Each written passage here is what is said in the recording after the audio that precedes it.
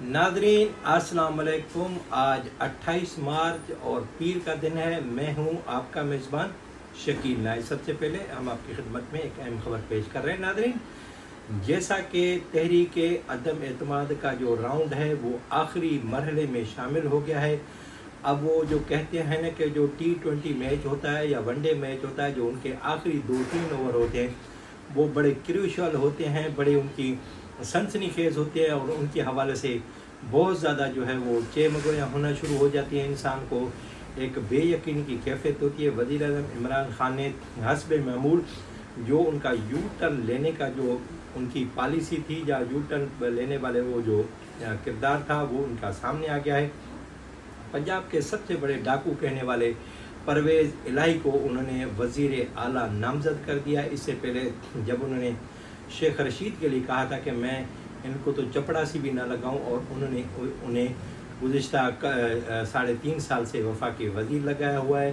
तो इमरान खान ने अपने जितने भी उसूल थे वो सारे तोड़ दिए और उन्होंने अब जो है, जो बार बार कहते थे कि उनकी टीम के वसीम अकरम की तरह जो अहम खिलाड़ी हैं वो उस्मान बोजदार हैं। बिलाखिर आज उस्मान बोजदार की कुर्बानी दे दी गई अपने इकतदार को बचाने के लिए उन्होंने उस्मान बोजदार से इस्तीफ़ा दिलाकर दो हिस्सों में तकसीम होने वाली मुस्लिम लीग काफ के रहनमा चौधरी परवेज इलाही को वज़ीर अला पंजाब बनाने का फैसला किया है। वो के मुस्लिम लीग काफ के एक मज़बूत रहनमा वफाकी वज़ीर तारिक बशीर चीमा ने वजारत से इस्तीफ़ा दे दिया है। इस तरह कल जो है वो शाहजैन बुकटी वज़ीर अजम के मुशावरत से जो उनको मुशीर बना गया था उस अहदे से इस्तीफ़ा दे दिया था।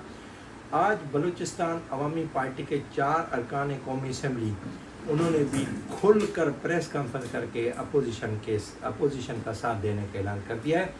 वो कि इस वक्त जो अददी अक्सरियत है या जो अददी सूरत वो ये है कि अपोजिशन के पास इस वक्त एक सौ इकहत्तर वोट हो चुके हैं। तहरीक अदम की कामयाबी के लिए एक सौ बहत्तर वोट की ज़रूरत है। सिर्फ़ एक वोट की ज़रूरत ज़रूरत पड़ेगी अपोजिशन को। हालाँकि इस वक्त जो पाकिस्तान तहरीक इंसाफ के जो बागी अरकान हैं, उनको अभी तक किसी भी तरह मंजराम पर नहीं लाया गया। सिंध हाउस पर पाकिस्तान तहरीक इंसाफ की जानब से हमला करने के बाद उन बागी अरकान को मुनरफ अरकान को उन्होंने नामालूम मकाम पर मुंतकिल कर दिया है।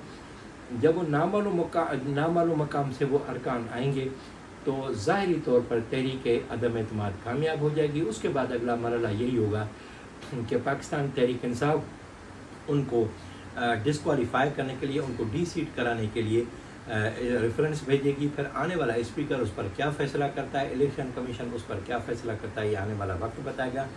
लेकिन इमरान खान का इकतदार जो है, वो अब गरूब होने वाला है और इमरान खान ने आखिरी ओवर में ज़िंदगी के जो सियासी, उनकी ज़िंदगी उसमें आखिरी जो ओवर खेल रहे हैं अपने इकतदार के और उस इकतदार में उनका गरूब होना लिखा जा चुका है और अब वो घर जाने की तैयारी कर रहे हैं और इस वजह से अपने उस इकतदार को बचाने के लिए डूबते को तिनके का सहारा की तरह वो अब मुस्लिम लीग काफ और मुतहदा कौमी मूवमेंट सबसे वो सौदेबाजी के लिए तैयार है। मुतहदा कौमी मूवमेंट को एक और वजारत देने के लिए तैयार है। मुतहदा कौमी मूवमेंट को गवर्नरशिप देने के लिए तैयार है।